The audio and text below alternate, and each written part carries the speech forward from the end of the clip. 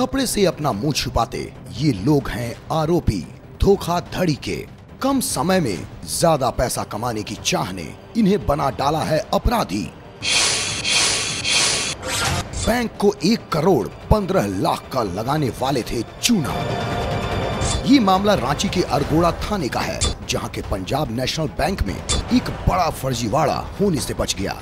कपड़े से मुँह छुपाते इन लोगों पर आरोप है पंजाब नेशनल बैंक से दो लाख अस्सी हज़ार रुपए फर्जी तरीके से निकालने का। ये अरगोड़ा थाना में पंजाब नेशनल बैंक के द्वारा एक केस किया गया है। यूपी के एक गवर्नमेंट ऑर्गेनाइजेशन का लगभग एक करोड़ बारह तेरह लाख का चेक पंजाब नेशनल बैंक में पूजा कुमारी और रानी कुमारी के नाम से दिया गया था।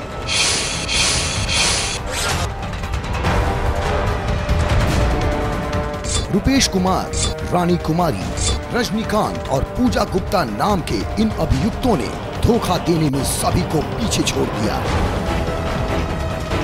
मामला सिर्फ़ दो लाख अस्सी हज़ार रुपए निकालने तक ही सीमित नहीं रहा, बल्कि पूजा और रानी नाम की इन दो लड़कियों पर यह भी आरोप है कि इन दोनों ने पंजाब नेशनल बैंक से उत्तर प्रदेश परिवहन निगम के एक करोड़ पंद्रह लाख रुपए का फर्जी चेक, ये दोनों अपने नाम से भंजाना चाहती थी।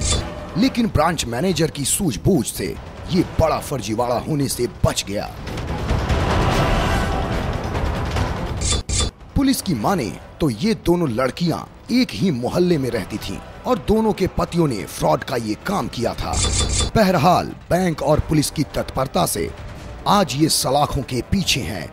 उसी के बाद तब अकाउंट धारियों के हम लोगों के द्वारा विगत एक सप्ताह से तलाश की जा रही थी। तलाश करने के बाद ये दोनों पकड़े गए हैं। लेकिन इसमें सबसे अहम सवाल ये है कि कम समय में पैसा कमाने की चाहत क्या इतनी बड़ी हो गई, जिसके कारण पति अपनी पत्नी को मोहरा बनाने के पहले एक बार भी नहीं सोचता? ऐसे में ये कहना गलत नहीं होगा कि आज पैसे के हाथों इंसानियत भी बिक चुकी है।